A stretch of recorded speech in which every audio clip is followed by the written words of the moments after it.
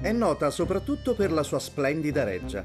Ha sempre sofferto il confronto con Napoli, la sua ingombrante vicina. Parliamo di Caserta, una città che in passato ha visto nel gioco del calcio una possibilità di visibilità e riscatto sociale. Il grande salto di categoria avviene nel 1969, quando la squadra locale vince il campionato di Serie C e conquista il diritto a salire nella serie cadetta.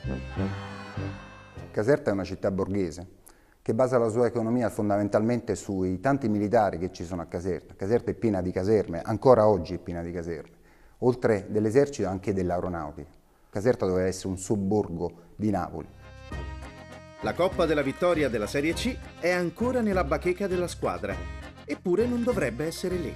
Italia in 4D vi vuole raccontare una storia incredibile. Tre giorni di autentica guerriglia, scatenata per una mancata promozione. È l'ultima partita della stagione 1968-69. La Casertana è prima in classifica, tallonata a poca distanza dal Taranto, sua principale avversaria. L'intera città aspetta il fischio finale per festeggiare la promozione. La promozione in Serie B al termine del 1969 è per questa città borghese, fondamentalmente cattolica, è una grossa forma di riscatto. Quel giorno Casertana-Messina, ci sono allo Stadio Pinto 15.000 spettatori. Caserta fa 60.000 abitanti, praticamente un quarto della popolazione è presente allo stadio. Al termine del campionato, però, arriva una denuncia proprio dalla sua principale contendente, il Taranto. La Casertana avrebbe vinto una partita, quella con il Trapani, grazie a un accordo tra alcuni giocatori.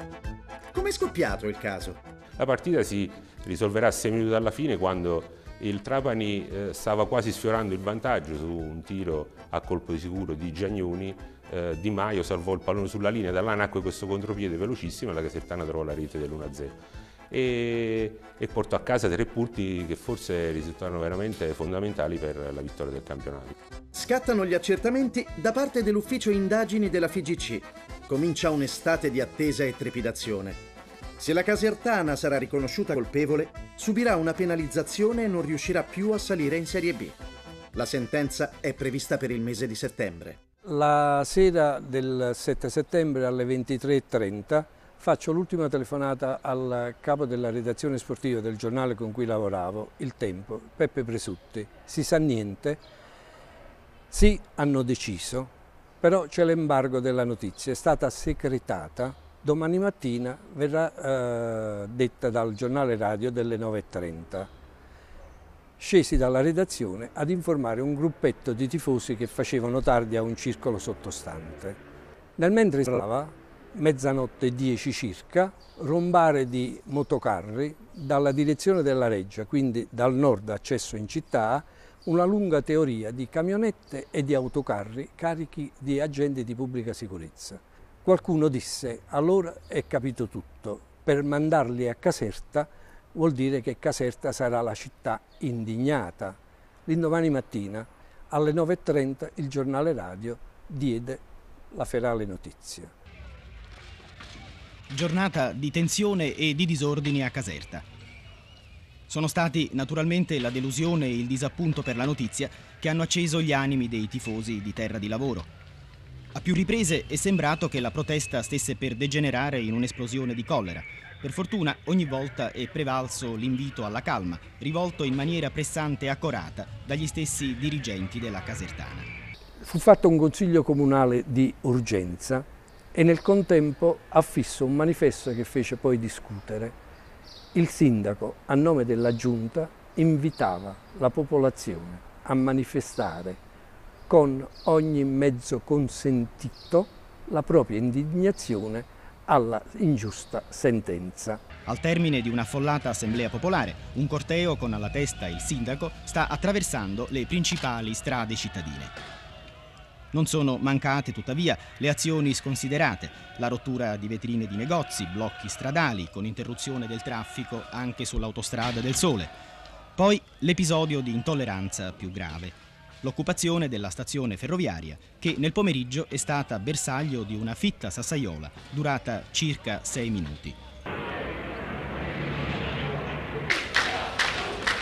Ci fu l'inaugurazione a Caserta, oddio, una prerogativa non esaltante, dei primi scudi di plastica antisommossa, la prima volta che venivano usati in una sommossa. Il fermento si è rinnovato in mattinata e nel primo pomeriggio, nonostante gli inviti alla moderazione e l'opera di persuasione svolta dalle autorità, dai dirigenti del sodalizio sportivo e dalla forza pubblica.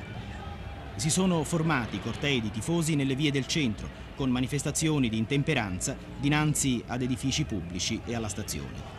Tafferugli anche stamattina. Cittadini ed agenti di polizia sono rimasti contusi e feriti, 43 persone complessivamente. All'una, alle 13, 13.30 è come se suonasse la campanella per il pranzo. Stop alla sassaiola che dalla finestra della redazione partiva da sinistra e ai lacrimogeni che venivano spati dalla destra dalla polizia. Calma, arrivava il carrettino delle pannocchie bollite, dalle nostre parti si chiamano pollanchelle perché sono assimilabili ai cosciotti di galline bollite, e si rifocillavano sia i giovinotti che i poveri soldati che avrebbero dovuto aspettare la sera in caserma per un pasto. La sentenza è prevista per il mese di settembre. Al termine degli scontri saranno 99 le persone fermate e processate. Nella sua arringa finale, l'avvocato metterà in luce l'importanza assolutamente esagerata che il gioco del calcio sta assumendo nel nostro paese. Il pallone è meglio di un libro da leggere, il pallone è meglio di un cinema a cui assistere, di uno spettacolo teatrale. Insomma, fece uno spaccato di una città di provincia che però, pur non essendo fatta di tutti tifosi esagitati e facinorosi, pur tuttavia, un po' sonnecchiando, aveva assistito a tutto questo che si andava verificando in quei due giorni, tre giorni di rivolta.